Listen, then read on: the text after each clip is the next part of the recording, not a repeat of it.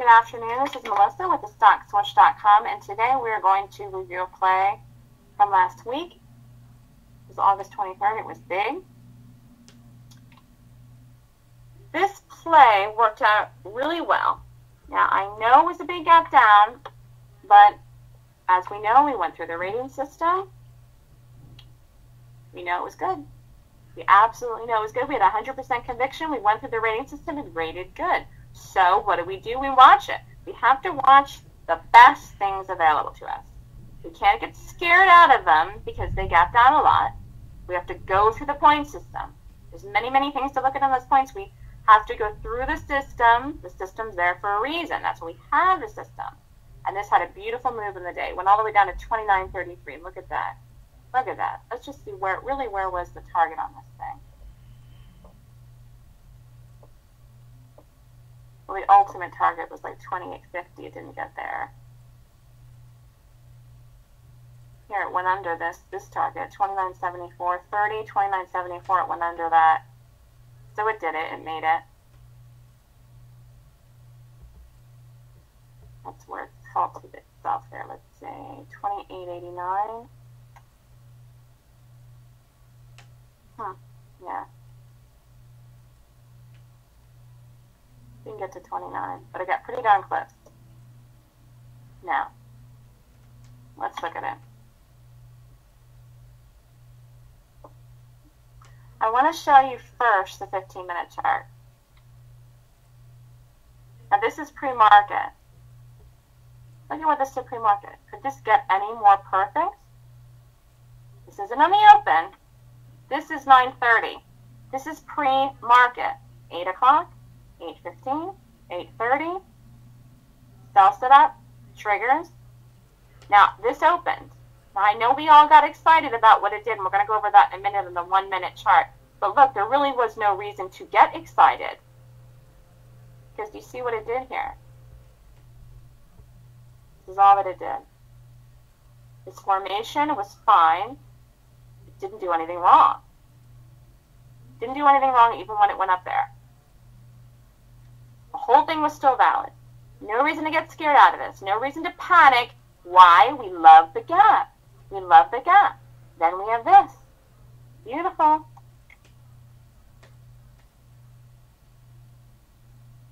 Now this is what had happened on the day. Now this is what I mean by an imperfect, we're talking about this in the class. Now here, here's an example. This is a 15 minute sell setup that worked. It wasn't perfect like I like to see them. However, it worked. Now you can start to get a feel for these once you play these, once you get these moves and these things, if these are going to continue on or not. It showed such weakness it could hardly rally itself at all. It fell really hard could hardly rally at all, so you couldn't have 100% conviction if this was not going to back up here, set up and then back up on itself into lunch and wait and go later in the afternoon. But as it turns out, it could not do that. It wanted to go and it wanted to fall as hard as it could. The market helped this thing, remember, on the day that this happened. This was Thursday. The market was red. It fell into 2 o'clock reversal time.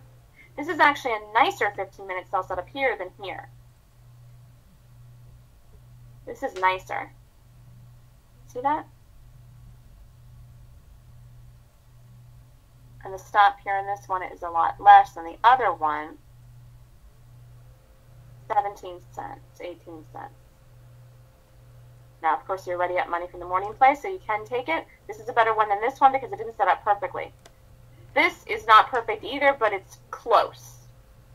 I like to see them set up a little bit differently. We discussed this and learned this in the class. But sometimes when these things are weak and they just want to bleed, that's what they do. And you know, you're up money, you make the decision. You make the decision if you're going to go back in for the second play or not. You make the decision. And you set a certain amount of money you're going to risk yourself and you don't change it. You stick to it. You say, I'm only going to risk another $50? Fine. I'm only going to risk another $100? Fine. Don't change your mind. If for some reason this wouldn't work or this wouldn't work and you lose what you risk, stop. Stop, stop, stop, stop, stop. You're already up money from the day from this. Okay, we're going to go over it now. And see, look at this thing. If you played the five minute chart, where, where was your entry on this? Where? You have to learn to play the first 5 to 15 minutes of the day. It is essential. for these gaps. Essential to get the right price, to get the right entry. This is everything I teach in my class. You've got to learn how to do this. Where, where did you where is where are you going to take this thing in the five minute? Nowhere. It dropped. You missed it. Take it here if you want to. It's 10:30. It's late. This thing is dropped hard. It's probably going to rally. It didn't. It was weak, but you didn't know that for sure. If this is your first entry, it's not a great one. It worked. Okay. The gap was good, but there's no guarantee that at this late time of the day, after this kind of drop, it's not going to reverse itself and go up here and go touch touch over here. This was perfectly still valid and could have rallied all the way up to here.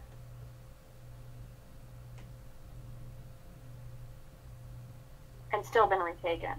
It couldn't even do with that. It's just so weak. Now, let's go to the one minute. So, opens 9.30, okay. Guess what? The highest 32, a whole number, surprise, surprise.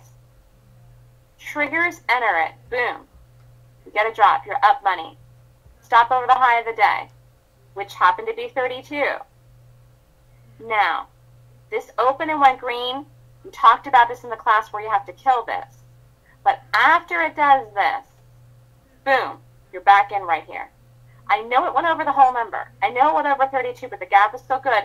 And we discussed this and learned this in the class. As soon as this does this, this is the setup here. Boom, boom, go. Enter. You're in. And if you didn't want to take this because you were concerned, you don't know how to play this because you didn't take my class, you're scared, I understand. But don't move off this thing. At the very least, wait and give it a chance to retake it. Give it a chance to work. You know the way these things are, okay? So then you get this here. Didn't go into the low of the day yet? Not a problem. Weakness, weakness, weakness, weakness. It's trying, it's trying, it's trying. Tiny, tiny, tiny little bars. Triggers right here. You're in it again. So the play was here. Then again. Then again. Then a drop. If you don't know how to do all of this, fine. You at least take it in this sell setup here. Into 945 reversal climb, stop over this space, and you're lowering your stop anyways when you get to that point. You've got nice size in this thing, and you're going to have to inch into this actually before it even goes because you may not get filled. There could be an uptick in this thing. And that's sometimes what happens with these. It's just the name of the game. So you may have to try to get filled here before this actually goes Because you don't want to get filled into this drop. It'd be terrible. It'd be horrible price. So you take it down. Really? The first target had to be $30. Did it even reach this on this? No, it didn't. I mean, this this was a dollar move here, though. 31.51, 30.50. My rule is a dollar drop first thing, first five, 15 minutes the day you take it. So if you didn't want to take the whole thing because you love the gap instead of at least 30, you could take half of it off into the dollar drop. Okay, and you manage the rest and you keep lowering your stop to these pivots, and you give it some time, and then it did drop off some more. And then it really dropped off some more, and you could have managed this the whole way down into the drop. You could have managed this the whole way down into the final drop, but at some point you're going to have to get out of this. Now let's just say you held on to this. Where would you get out of this? Say took half off in the dollar move. The rest you managed down on pivot. When do you get out of this? 29.33. 29.33, right there it is. Boom. Double bottom, take it. It's been bleeding for six hours, and you get a double bottom, you better be out of this thing. Don't you dare wait for this thing to blow up. I mean, it didn't blow up until later here, but this thing could have like that, and that's how you get hurt. A double bottom, it's been bleeding for six hours, people are going to take their profits. So you take it here, and if you didn't know enough to do that, then you take it over this base. And if you didn't know enough to do that, you darn well better take it over this base. And you see that's where it really started to go here. But at this point, you are up so much money. What what else are you trying to get? 30, 33 cents to 29? What do you want? 33 cents. You're going to give back 30 cents to get 30 cents? You're going to give back 50 cents or a dollar to get 30? Don't do that to yourself. And recognize the fact that a double bottom is an exit. That is a sign. And then it didn't go lower here, take it. So let's just look at this figure here. I love reading charts. This stuff just doesn't get any better than this. There it is. You don't know what to do. You're up so much money in this. You say, how is this really going to go to 29? Is it going to go to 25 today? And this thing, this stock can move, and it can move. Say, I can make a million dollars today. I don't really want to take this if I don't have to. What should I do? When you get this, don't have blinders on. You can't trade in a vacuum. Make a decision in the moment with no hesitation. See that for what it is, and don't be sucked into the greed. Because you're up a lot of money, and you're starting to get piggish, and you think it's going to go to 28, and you're going to make another $1.33 in it. Yeah, that sounds great. But when you must read the chart, this is about trading and making fast decisions with your brain in the moment, with your mind, with your brain. We talked about this in the class. Your mind and your brain is saying, okay, hmm, all right, not a problem there. Okay, that's a problem. That's a problem. This started to go back down. It didn't get under here. This is a double bottom. You take it. You take it right there if you didn't take it here. When it hits a double bottom, you should take it. Boom. If this bar closes with a double bottom, you take it. And if you didn't take it there, then you darn well better take it here. This did not overreact after the double bottom, but I have seen them do that. We, we saw that in the class. We saw that in the class on MS, remember? The problem is this didn't overreact because so much people were up so much money from holding this, however long they were holding that, that nobody overreacted to anything. But protect your profits. Protect your money.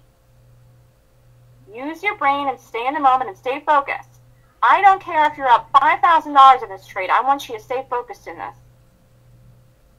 This is perfection. You take the trades our way I taught in that class today, and you get in that thing right, and you enter in every place I told you to enter, and you get out here, you can't get any perfect than that.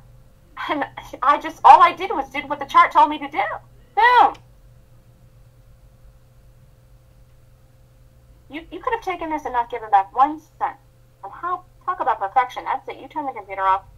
Take the day off and tomorrow because you're not going to, if you trade this thing perfectly, when you get this kind of move and you get this kind of thing and you do everything right, which you're capable of doing now if you took my class, you should be so happy and proud of yourself. So proud of yourself. Don't expect yourself to do another trade like that the rest of the day. And if you want to, take the day off tomorrow. This is it. So it was a beautiful train. It was a great get. We rated it. It was high. It got almost every point except for a couple, and that's no big deal. We knew it was going to work.